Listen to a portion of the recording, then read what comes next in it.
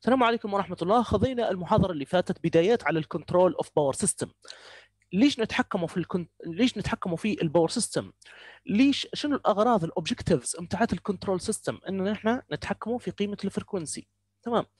ال frequency بتاع ال power system لما ثبتوه عند 50 هرتز شنو معنى الكلام هذا؟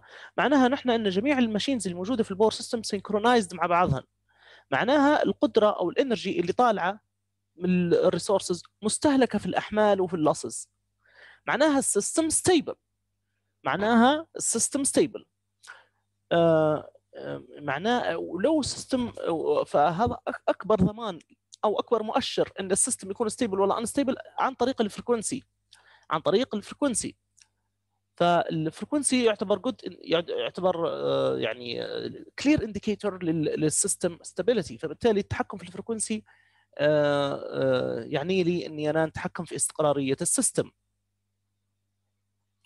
تمام. علاوة على إن جميع الفائدة من ال stable system إن جميع ال resources ال energy طالعة منهن تكون مستهلكة في ال losses والأحمال. آه كذلك جميع ال machines يكونوا synchronized مع بعضهم بحيث إنه يتحقق قانون كرشوف عند لحظة معينة في الشبكة. لأن آه ال machines اللي يكونوا ما هنش synchronized مع بعضهم ف يعني كل واحد كل واحد حيكون الجهد والتيار بتاعه أو حتكون swing swinging أو oscillation بطريقة مختلفة عن عن عن generator ثاني أو عن power system ثاني. فبالتالي على أساس إنه يكون synchronized مع بعضهن معناها يدل على إن قوانين الفيزياء بتاعت الشبكة متحققة عند كل ثانية. فبالتالي ال system في الحالة هذه حيكون stable لو أن ال system unstable معناه في جزء من ال energy ما عارفين وين حيمشي. حيتسبب هذه معضلة في ال system آه يعني تؤدي إلى ارتفاع كبير في زاوية ال rotor آه إلى حين خروج ال machine من التزامن. ال James Watt governor اللي هو تشوفوا فيه قدامكم هذا هذا من اختراع العالم الاسكتلندي جيمس وات اللي هو سموا عليه وحدة القدرة. جيمس وات اخترع ال system هذا وهو عبارة عن mechanical controller لل turbine speed i.e. لل generator speed أو لل rotor speed تمام. كيف يشتغل هو؟ عندك أنت آه fly balls هنا في عندك أنت weights هنا. تمام. وفي عندك أنت هذين مشبوكات مع بعضهم ب spring mechanical spring أو نابض. وقعدت يعني في position معين. ال position هذا بالمعايرة by calibration يعبر عن ال synchronous speed بتاع ال system. افتراضا على إن ال synchronous speed هذه زادت. زادت. تمام؟ مع زيادة ال electrical torque أو آسف ال synchronous speed آه آه يعني قلت عن طريق زيادة في الأحمال. من زيادة الأحمال اللي هنا زيادة الأحمال آه حيزيد ال electrical torque في ال swing equation وحيكون Tm ناقص Te بال minus فحيكون في deceleration في ال rotor حيكون في deceleration في ال rotor هذا سيتم ترجمته إلى إيش؟ إلى انكماش في النقاط هذين أو ال weights هذين ليش؟ لأن ال corresponding position لل لل synchronous speed حيكون مثلا هنا سيء هنا مع قل مع قلة السرعة أقل من ال synchronous speed آه حتكون قوة الطرد المركزي أقل. قوة الطرد المركزي أقل ولذلك سمي centrifugal governor حاكم الطرد المركزي. فال weights هذينا حيقلن حينكمشن على بعضهم. تمام؟ وبالتالي ال position اللي تشوفيه انت هذا هذين من ينكمشن على بعضهم المستوى هذا حيرتفع فوق. ABC حيرتفع فوق شوي. تمام؟ حيرتفع معاه البستون بتاع ال pilot valve. من يرتفع البستون بتاع ال pilot valve حيندفع ال oil من هنا إلى الجزء العلوي. الجزء السفلي ما زال مغلق. الجزء العلوي هو اللي حيكون مفتوح نظرا لارتفاع البستون بتاع ال pilot valve.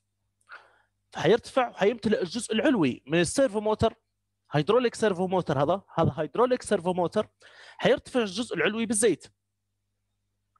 حينزل وينزل معاه ال valve. ال valve هذا هذا المجرى بتاعها تشوفوا فيه يعني قدامكم إن هي لما لما تنزل حينفتح المجرى العلوي بتاع ال valve اللي هو يمشي فيه steam.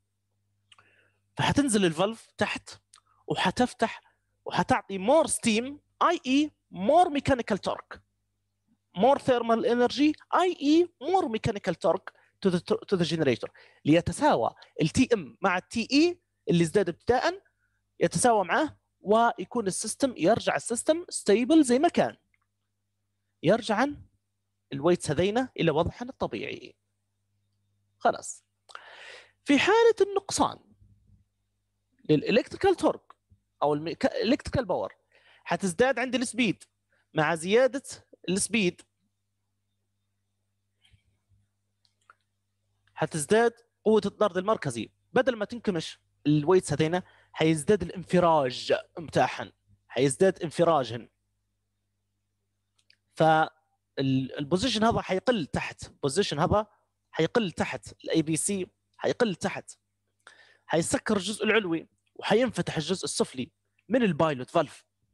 وحيندفع ال oil من المجرى السفلي لل hydraulic servo motor وحيرتفع البستون بتاع ال servo motor هذا. وحترتفع معاه ال valve. من يرتفع معاه ال valve حتسكر مجرى ال steam. حتسكر مجرى ال steam حتغلق مجرى ال steam. فبالتالي آه حيمر steam أقل في الترباين وحيقل ال mechanical torque آه تبعا لقلة ال electrical torque اللي حكينا عليها في البداية. وحترجع ال speed إلى وضعها الطبيعي. وهكذا. هنا الكلام هذا طبعا هذا واخذه من ماتشوسكي الكتاب هذا آه آه وهنا اللي هو الشروحات متاعت الكلام اللي حكيت عليها نتو if the electrical torque increases due to the change in load so it is greater than the mechanical to driving torque the rotational speed decreases and the weights move radially towards inwards under centrifugal action this causes a on the governor floating lever to rise and the floating lever ABC rotates around point C this rotation results in point B and pilot valve moving upwards, so allowing high pressure oil to flow into the upper chamber of the main servo motor. The differential pressure across the piston now forces the piston to move downwards to, so partially opening the turbine valve and increase the turbine power. The displacement of the main servo motor piston down, downwards causes points D, E, I, and H to lower and the speeder gear floating to lever uh, floating lever to rotate downward about point G. This lower point C, around which the lever ABC rotates and partially closes the pilot valve to reduce the oil flow into the upper chamber. آه طبعا شوية تحس ان الشرح يعني معقد شوية بتاع الكتاب مش عارف كيف يعني أنا نشوف فيها لو إنك أنت if you go to the recording إذا مشيت لل recording بتاع ال lecture هذه باهي وشفتني أنا كيف حكيت عليه هذا حتقعد أنت فاهم ال governor كيف يشتغل بالضبط تمام طبعا جيمس وات اخترع ال governor هذا وما كانش في. في ال control system ما كانوش ما كانوش ما دمجوش الرياضيات في ال control ما زالوا. ما زالوا ما يعرفوش transfer function ما زالوا ما يعرفوش state space ما زالوا ما يعرفوش PID فهمتوا علي؟ ما زالوا ما يعرفوش ال mathematics اللي واخذينها في ال control واللي. واللي حتاخذوها كذلك في ال في, ال في ال power system control ما كانوش عارفينها. تمام؟ اختراع هذا by experiment بالتجربة. آه من اللي من اللي دمج الرياضيات مع ال control؟ جيمس ماكسويل. أخذ ال governor هذا وعمل له mathematical model ليدرس ال behavior بتاعه ليدرس لدراسه ال dynamic بتاعه وبذلك علم ال control قعد مدموج مع الرياضيات ومربوط معاها بشكل مش عادي. بشكل essential بحيث إنه آه يعني كل آه بحيث إن آه، كل controller ضروري تعطيه mathematical philosophy بحيث إنك أنت بعدين تطبقه وليس العكس. لأن نحن نتعامل مع محطات بالميجا وات 1000 ميجا وات 600 ميجا وات كيف تبي تعمل experiment في المعمل؟ منين بتجيب لك أنا 600 ميجا وات في المعمل؟ ما نقدرش أنا. فبالتالي ضروري يكون في عندك شوية theory ضروري يكون في عندك فلسفة. إنك أنت تصمم controller بالرياضيات وتقول لهم نعم أنا متأكد. ال controller هذا لو طبقته على 1000 ميجا وات حيشتغل عادي. وهنا هنا وهنا تبان الهندسة. هنا تبان الهندسة صح؟ تمام؟ فهذا ال controller آه، وعلى الرغم من قدم ال controller هذا اللي له أكثر من قرن آه، أو أسف حوالي حوالي قرنين من الزمان إلا انه لا يزال يستعمل. ال controller تشوفيه قدامكم هذا لا زال مستعمل في ال thermal power plants وما زال مستعمل في الدول المتقدمة ما زال مستعمل. ليش؟ نظرا لسهولة لمتانته متانة عمره الافتراضي سهولة ال mechanism بتاعه تمام؟ آه آه معظم ال operators شغالين عليه more reliable يعني أكثر آه موثوقية من اللي يطلع الأجيال الجايه الأجيال الأخرى من ال governors اللي يطلعن بعدها اللي هن ال electronic وال digital electro hydraulic governor ال digital hydraulic وال electronic governors وإن كان كلهن تقدر تصمم لهن digital controller من برا بكل يعني إنك أنت ال signal آه ممكن تمشي لل speeder gear هذا بحيث إنه يرفع وينزل المستوى ABC regardless باهي regardless of the speed movement حتى مع ال speed movement فهمت علي كيف؟ أو يكون sensed لل speed movement آه عن طريق آه آه يعني digital آه sensor وهكذا فزي ما قلت لكم أنتم إن التغيير مرات يكون لل valve هذه التغيير مرات يكون يعني اوتوماتيك نتيجة اللي delta omega تغير في ال speed مرات يكون manual أنت you have forced the governor to work on specified uh, position on these weights فهمت علي كيف؟ فبالتالي تقدر أنت you, you, maybe you, you want to force it to operate يعني عن طريق ال speeder gear وهكذا عن طريق ال signal اللي تمشي لل governor آه فممكن إنك أنت تتحكم فيه آه يعني حتى beyond الأوتوماتيكا. تمام؟ طبعا عندنا هنا هذا الكلام اللي أنا حكيت عليه تو إنه تلاحظ معايا هنا إنه مع نقصان مع زيادة ال power حيقل عندي ال frequency كلنا عارفين الشيء هذا. مع زيادة ال power حيقل عندي ال frequency.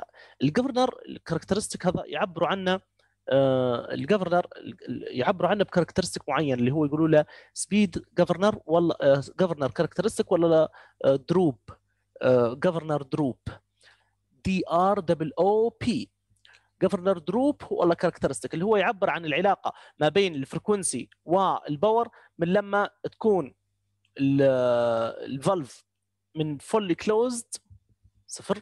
إلى fully opened 1 per unit أو full load power تمام؟ أنا لما تكون ال valve من fully closed fully opened كيف حيتغير معايا ال frequency هذا هو ال characteristic بتاع ال governor فعندنا نحن نلاحظ على حسب ال characteristic بتاع ال governor إن مع زيادة ال frequency مع زيادة ال power حيقل عندي ال frequency أو مثلا هنا مثلا عند ال... عند ال characteristic هذا اللي هو أقل واحد فيهن. تخيل عندي زادت ال power من P 1 إلى P 2 على حسب ال free governor action حتكون ال corresponding new corresponding frequency هنا. مش حيكون واحد per unit حتضطر إنك أنت ترفعه لعما توصله لعند واحد per unit عن طريق إيش؟ عن طريق ال speeder motor اللي هو اللي هو هذا. speeder gear تمام؟ آه ترفع عن طريق control signal تمام؟ وكذلك هنا مثلا لو زاد لعند ال P 3 على حسب ال characteristic هذا حيقل ال frequency لعند تقريبا point 99 فتضطر إنك أنت ترفع ال characteristic على أساس إنك أنت توصل ال corresponding power to the corresponding nominal frequency of 1 per unit 1 per unit speed 1 per unit speed مقصود بها 50 هرتز وهكذا تمام؟ حينتج عندك انت alternative governor settings عن طريق ال speeder gear تمام The governor characteristic of large steam turbo alternator is shown in figure 2 4 below. When the frequency decreases, the turbine power should increase to reach new equilibrium point with electrical load. مرات مش بس لزياده زي ما قلنا نحن ان مع زياده مع نقصان الفريكونسي المفروض انك انت تزيد الميكانيكال باور التربين باور هذه المفروض إنك أنت تزيد ال turbine power على أساس إنها ترد لل new equilibrium governor characteristic droop can be physically interpreted as percentage change in the speed required to move the valve from fully opened to fully closed.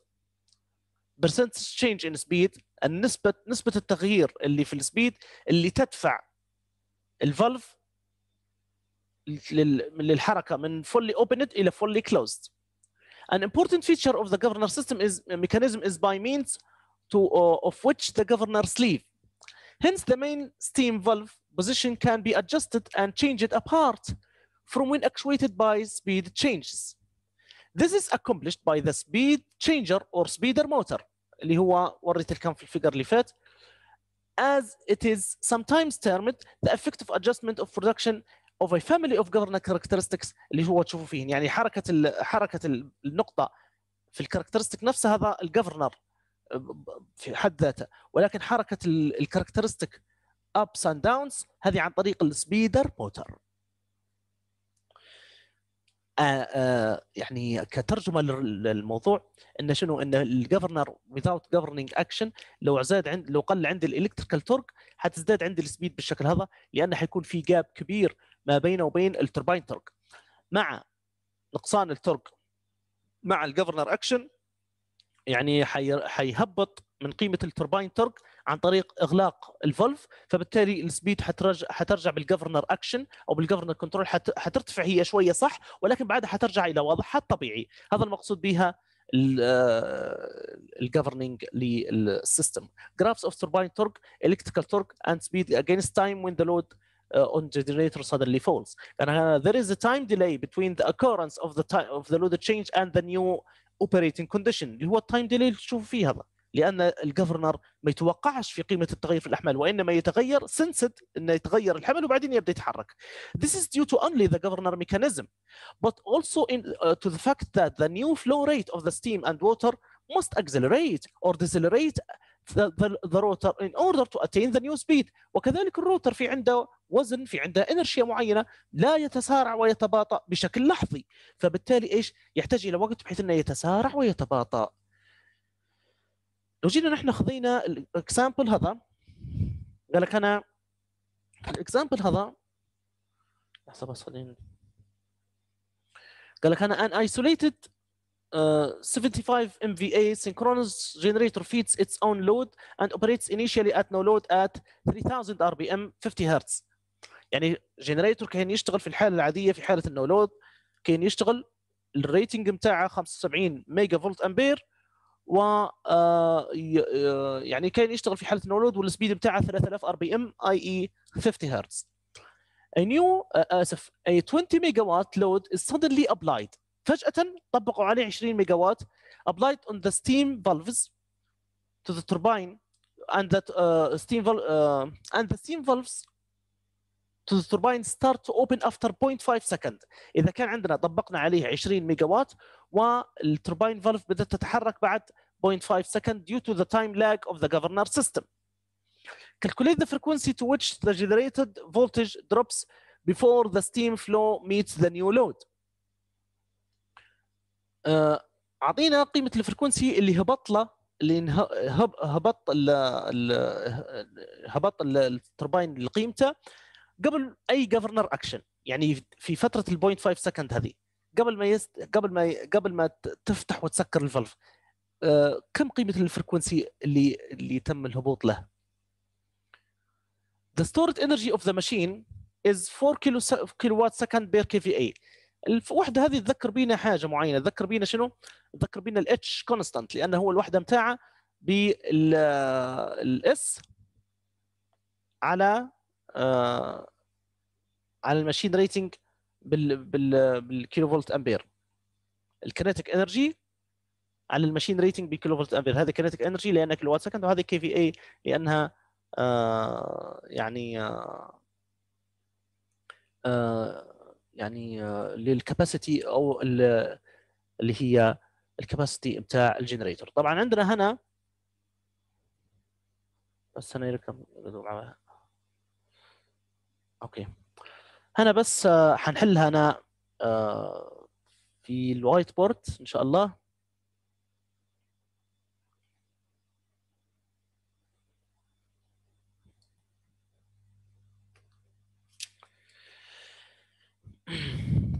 هو عندنا في السؤال في السؤال هذا اللي هو ال question 2 1 السؤال هذا في عندنا kinetic energy يبيك تجيب ال frequency في الحالة العادية. يعني عندك انت في ال no load لحظة بس في ال no load no load أول حاجة عندك انت ال machine rating حتساوي 75 MVA no load at no load ال frequency كان 50 هرتز وأموره تمام. تمام؟ at 20 megawatt applied load.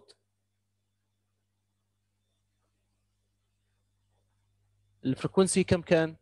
يبيك تجيب قيمة ال frequency before governor action. Before opening the valve. قبل ما يبدأ يفتح عن ال valves هذين. تمام؟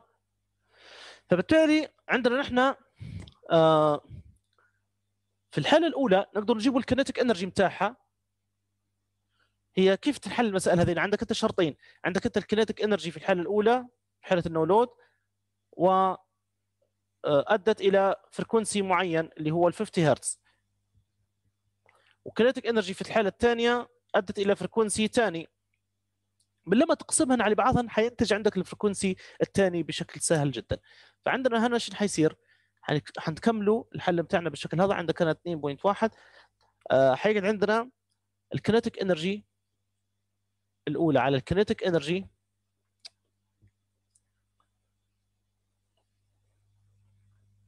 على ال kinetic energy الثانية حتساوي نص J omega 1 تربيع على نص J omega 2 تربيع. تمشي ال J مع ال J والنص مع النص حتقعد هذه أوميجا 1 تربيع على أوميجا 2 تربيع. تمام؟ آه هنا حيكون عندنا الجذر التربيعي لل kinetic energy الأولى على ال kinetic energy الثانية حيساوي الأوميجا 1 على أوميجا 2 فبالتالي في الحالة هذه حيقعد عندنا الأوميجا 2 اللي هو ال frequency في الحالة الثانية أو ال F 2 الأوميجا 2 حتساوي أوميجا 1 مضروبة في الجذر التربيعي لل kinetic energy الثانية آه ال kinetic energy الثانية على ال kinetic energy الأولى. أو تقدر تستنتجها بشكل أحسن إنك تقول إيش ال F 2 حيساوي F 1 مضروبة في الجذر التربيعي لل kinetic energy الثانية على ال kinetic energy الأولى. كيف نجيبوا ال kinetic energy الثانية وال kinetic energy الأولى؟ في الحالة الأولى آه في الحالة الأولى kinetic energy الحالة الأولى كان مخزون الطاقة كلها الكامل ال rated كله مخزن لأنه قاعد يشتغل في ال no load ولكن عنده هو spinning reserve قيمته 75 ميجا وات 75 mega volt ampere على حسب اللي في السؤال. هيقعد عندنا هنا ال H هذا مضروبة في ال S MVA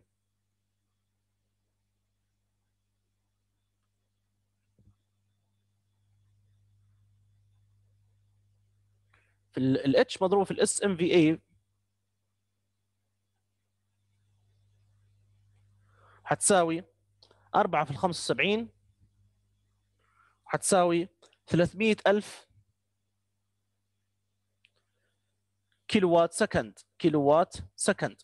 هذه ال kinetic energy KE at no load 20 megawatt applied after 0.5 second. حيقعد عندنا هنا ال kinetic energy الثانية. حيساوي 300 ألف. ناقص 20 في 0.5 وتساوي 290 ألف. هذه ال kinetic energy اللي في الحالة الثانية. اذا ال F 2 حيساوي 50 مضروبة في الجذر التربيعي لل 290 على 300 هذا 290 ألف على 300 ألف. تطلع قيمته 49.2 هرتز. طبعا هنا كيف؟ هنا كأنه يقول لك انه شنو؟ إن آه ال machine فقدت جزء من القدرة بتاعها أو من ال energy بتاعها في 0.5 second يعني هنا شنو؟ يعبر عن فقدان ال machine لجزء من القدرة بتاعها أو جزء من الاحتياطي ال kinetic energy بتاعها في 0.5 second هذا تمام؟ أو energy lost energy lost in grid energy lost in grid.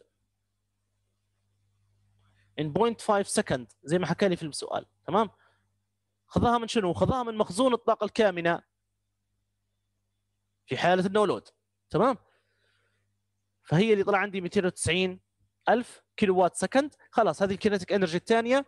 حتقعد ال kinetic energy بعد ال applied الحمل آه على ال kinetic energy الأولى في آه أثناء ال no load ال kinetic energy الطاقة الكامنه أو مخزون الطاقة أو الاحتياطي بتاع التوليد تحت الجذر. مضروب في ال 50 هرتز حيعطينا ال frequency الجديد. هذا قبل أي governor action مع ال governor action أكيد حيرجعها إلى وضعها الطبيعي. تمام؟ المسألة هذه أنا حالها طبعا من الفصل اللي فات. آه وتلقوها الحل بتاعها آه موجود هنا. أهو. هو kinetic energy الأولى في حالة ال no load kinetic energy الثانية في حالة ال 20 ميجا وات applied وحليناها بنفس الطريقة اللي هنا ولكن بس هنا لأن المساحة بتاعها صغيرة جدا ففضلت إني نحل على ال white screen. لكن هو نفس الحل يعني. تمام؟ هو نفس الحل. هنا تلاحظ معي إن هنا اوميجا 2 حتساوي اوميجا 1 في جذر تربيعي لل KE 2 على KE 1 ال F 2 حتساوي F 1 في جذر التربيعي لل KE 2 على KE 1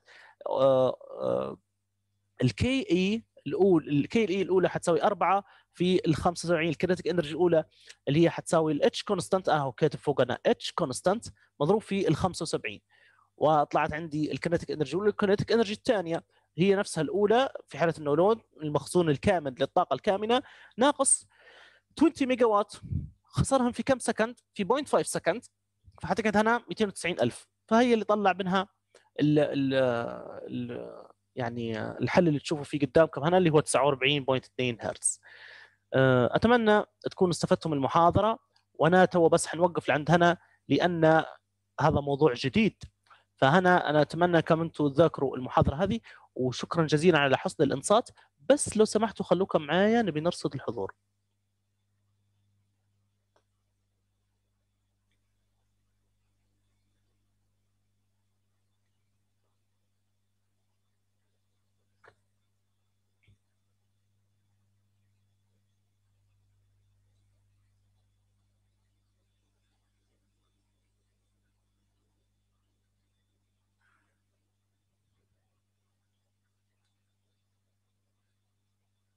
لا مش هذا لا لحظة بس.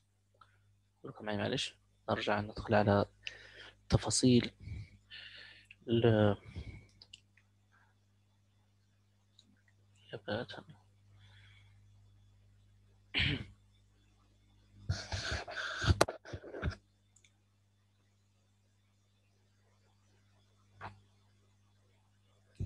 أتمنى لكم إن شاء الله التوفيق. أي حد منكم عنده ظرف ما يعني بخصوص الحضور يبلغني به يا ريت يبلغني به. تمام؟ آه منير تيسير. موجود دكتور. جنى عمر. عمر غسان متري. صهيب نواف. عبد الله أبو الرب. نعم. دانا البداوي. نعم. سعيد أبو لبة. نعم. سيف الص... سيف حسن رائد سيف فرحان محمد السطري